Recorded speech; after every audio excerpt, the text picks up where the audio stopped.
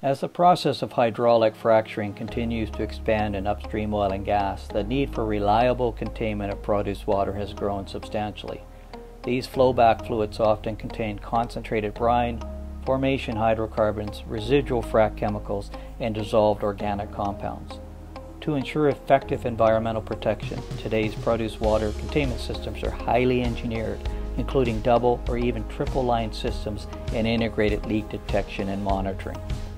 Produced water containment includes the use of large earth-lined ponds or large-scale above-ground modular storage tanks. Liner systems are generally constructed using HDPE, LLDPE, or EnviroLiner 6000, an advanced specialty material designed for long-term containment of produced water.